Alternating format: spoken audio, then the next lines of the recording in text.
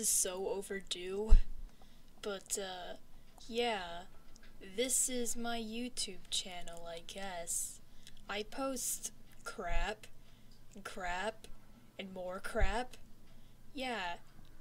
That's what you're supposed to expect on this channel.